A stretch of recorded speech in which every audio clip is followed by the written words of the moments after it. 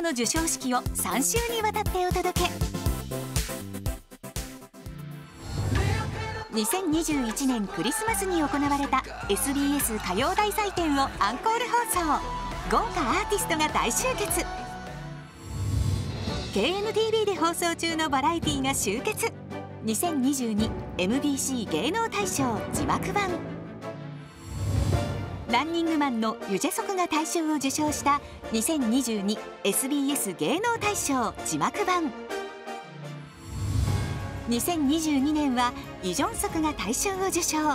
名作を生み出してきた MBC の演技大賞字幕版。キム・ナムギルが見事大賞を受賞。豪華俳優たちが勢ぞろい。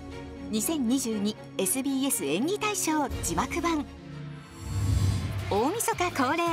2022MBC 歌謡大祭典。豪華アーティストたちのスペシャルステージは必見。詳しくは KNTV ホームページへ。